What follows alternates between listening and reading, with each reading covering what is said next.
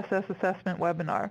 So without further ado, it's my pleasure to introduce two of the greatest presenters ever to grace our webinar airwaves, Micah Comp and Lainey Picard. Micah and Lainey? Good morning. Uh, thank you, Chris uh, and Michelle, for that, for that uh, gracious introduction. Um, my name is Micah Comp. I am the Quality Assurance Manager for DSS uh, Industrial Security Field Operations. My office is responsible for ensuring consistency within DSS. We also ensure uh, efficiency, we drive process improvements, and we also provide operational support to our DSS field activities and to organizations like CDSE for presentations like this. Also with me today is uh, Lainey Picard. Thanks, Micah. Hi, everybody. My name is Lainey Picard, and I'm a Senior Quality Assurance Action Officer for the Quality Assurance and Field Support Branch under Mr. Micah Comp. And I will let you take away the presentation right now, Micah. Thanks, Lainey. Okay. Before we begin uh, our discussion of the vulnerability assessments, which is what I think we're all here, we thought it was important to provide some background on the DSS approach, the strategy, and the implementation of our responsibilities within the National Industrial Security Program. We thought that this will help you not only understand and place your security vulnerability assessment in a larger context, but will hopefully help you understand how this process assists industry, assists the government, and ensures the protection of our nation's most critical assets. So the DSS approach to security vulnerability assessments is through a true partnership with industry. We understand that industry protects classified information entrusted to them, and that this protection is a shared responsibility between government and industry. Ultimately, though, primary responsibility for the protection of that classified information resides with industry. It's in your companies, it's with you guys, therefore it is entrusted to you to protect it. DSS is here not only to oversee the protection of classified information, but to provide advice, assistance, and support to industry when needed. Partnership is and continues to be a priority for DSS and is recognized as the best approach for protecting classified information. Now that we've talked a little bit about our approach, we think it's important for us also to talk about our strategy. It is important to understand how vulnerabilities and the vulnerability assessment fits into DSS's larger risk-based oversight approach, which you can see above extends beyond vulnerabilities and the vulnerability assessment. What you see on this slide is an equation that depicts how DSS views risk. In short, risk is a function of threat, vulnerability, and consequence value. But what does this really mean? So in order to understand risk, DSS weighs and considers three primary factors. First is the threat, and you can see that right after that big F in the slide above. This is the threat to the classified information or the sensitive technology at your companies. As you can see above, threat is identified through a variety of means, but primarily this information comes from an understanding generated by those suspicious contact reports that you provide to DSS. Next are vulnerabilities and the primary focus of today's session. Vulnerabilities are both known and unknown, but in short, they are failures in our own security programs or posture that may allow our adversaries to obtain classified or sensitive technologies. So above are examples of where vulnerabilities may originate. So you can see in that center column under vulnerabilities, we've got vulnerability assessments. We have IT accreditations and CCRIs, technology control plans, security violations. So within these processes, if they're not executed correctly, is where we will see vulnerabilities generate. The last part of this equation is consequence value. This is the consequence to the United States if the technology or information is lost, and what's important here is the value of the information or technology to our adversaries. This is not what is necessarily valuable to us per se, but the value to our adversaries. So next, Lainey is going to talk a little bit about our approach uh, and the strategy and how it is implemented. Thanks, Micah. DSS publishes a quarterly internal Facilities of Interest list, better known as the FIL, to prioritize vulnerability assessments and oversight in the field.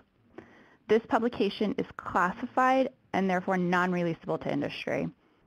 This is DSS's prioritization model and determines the level of risk for the facilities as they relate to vulnerabilities and the overall threat specific to technologies. It assists DSS in prioritization of how often your DSS IS threat conducts SVAs within your facility, whether that be 12, 18, or 36 months. This approach supports the National Counterintelligence Strategy of the United States as well as the DoD counterintelligence strategy.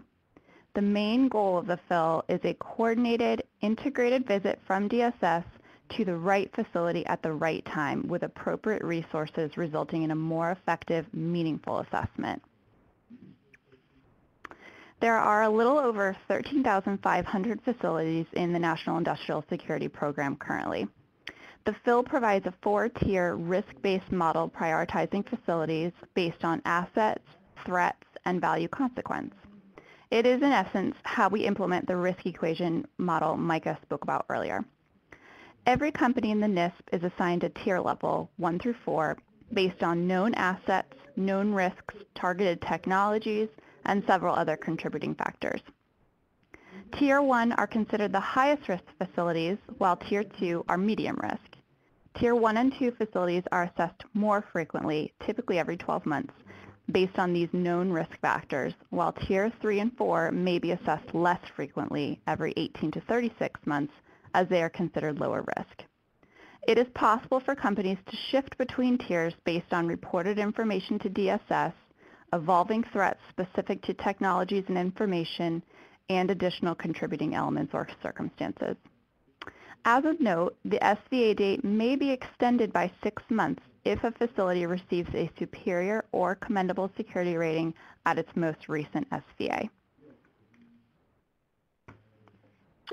So now that we have talked a little bit about our approach, strategy, and implementation, let's discuss the security vulnerability assessment. The graphic on this slide depicts the elements that make up a security vulnerability assessment. So what is the purpose of the DSS assessment? The DSS assessments ensure security countermeasures are in place to mitigate hostile intelligence threats and ensure national policy compliance. DSS uses a tailored risk-based approach, as we've already discussed, to assess and enhance the security posture of over 10,000 cleared companies and, as Lainey pointed out, over 13,500 locations. More specifically, the assessment evaluates a contractor's security processes and procedures, adherence to suspicious contact and other reporting requirements. It identifies vulnerabilities. It advises your government contracting activities of any substandard programs or issues. And in serious cases, it identifies compromises of classified information. You will notice that not all areas are applicable to all facilities. Some facilities may not have information systems or FOCI factors but there are some elements, such as security education, that are relevant to all companies in the NISP.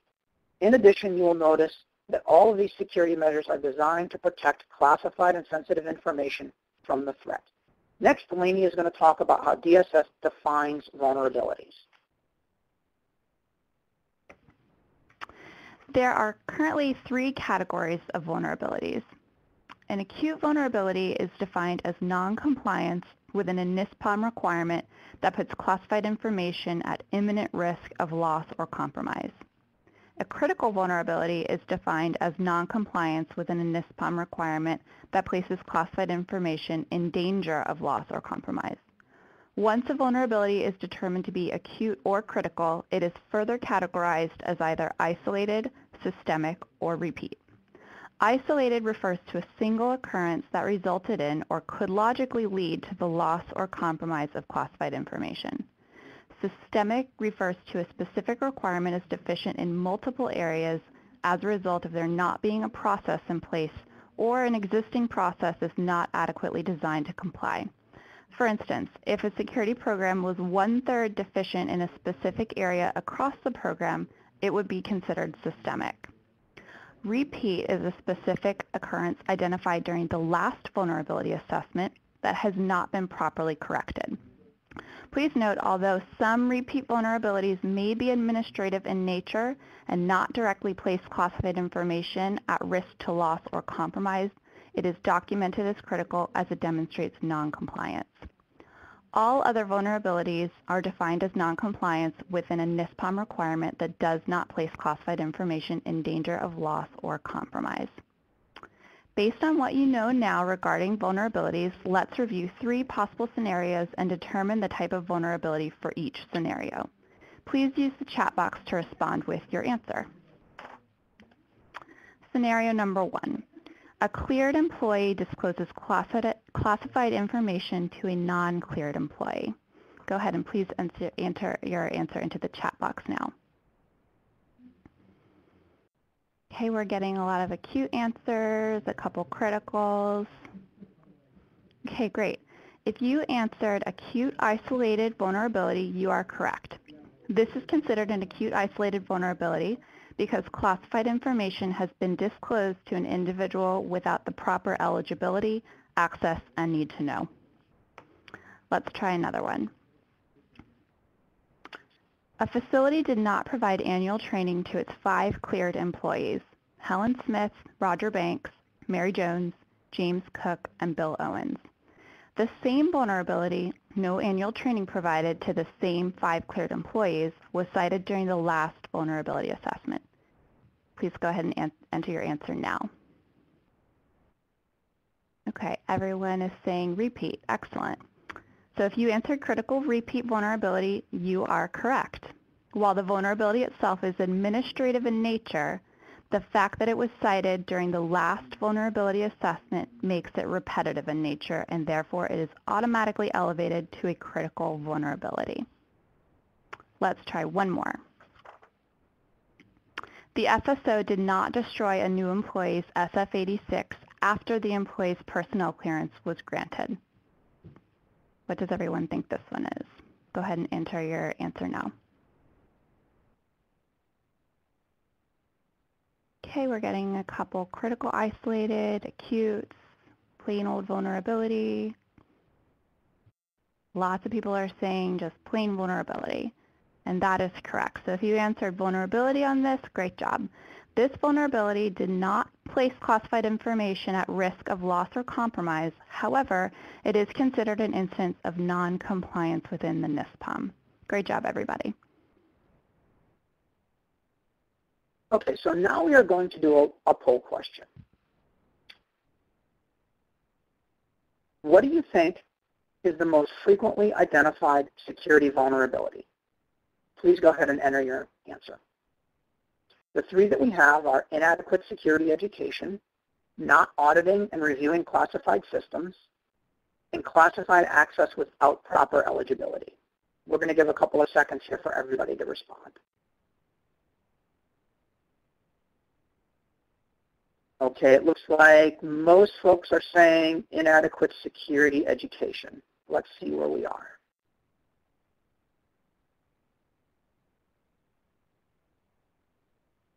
Okay, it looks like we have a winner. Now let's look at vulnerability trends and see if we were right.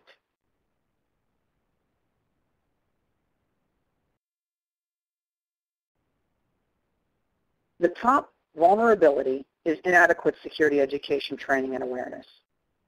So good security education programs will ensure that cleared employees are aware of their responsibility to protect classified information.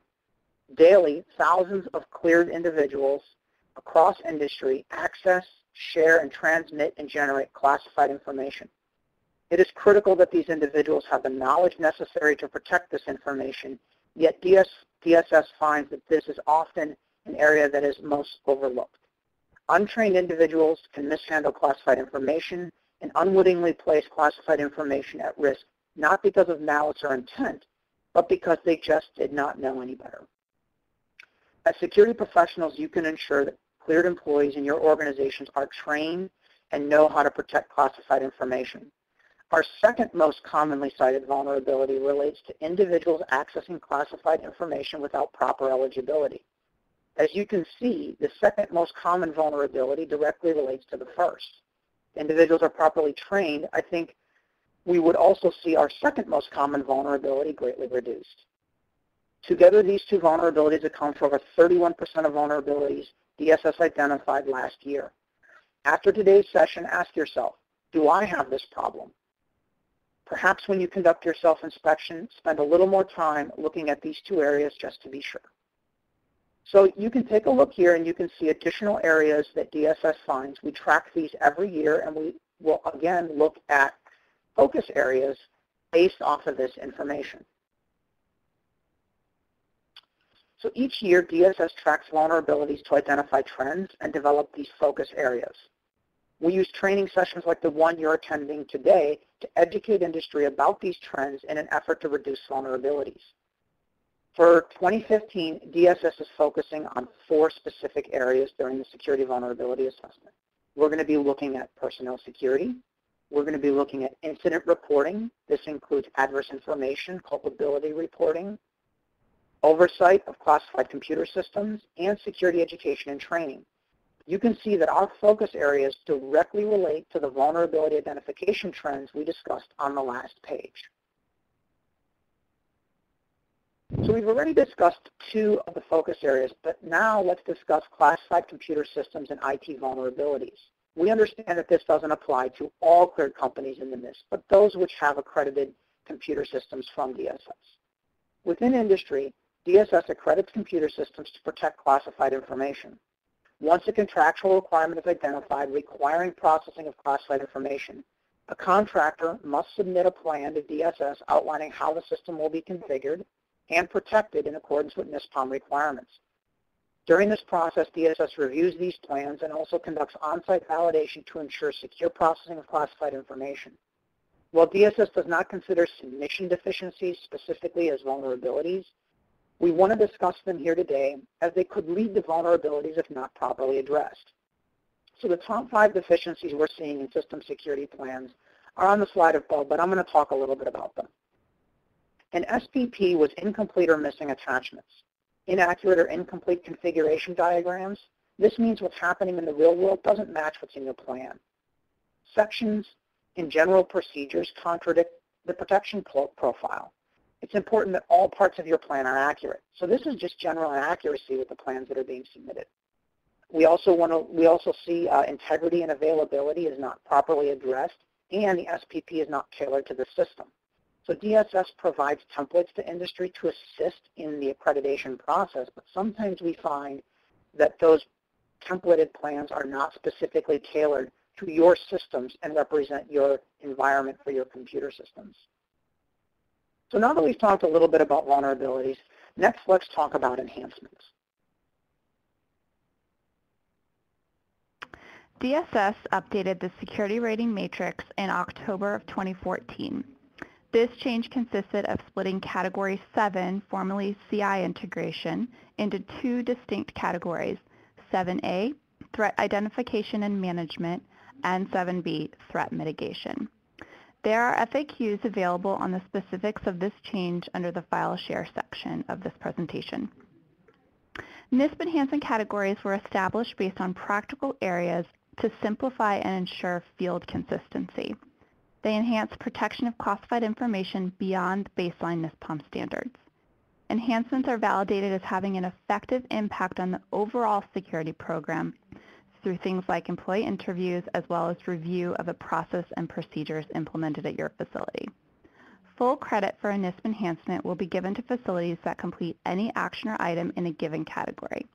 They will also be granted to facilities that meet the baseline NISPOM requirements in that area. With the update in October of 2014, DSS also updated the rating matrix document, which can also be found under the file share in this webinar. Please feel free to download as a reference before or after the presentation.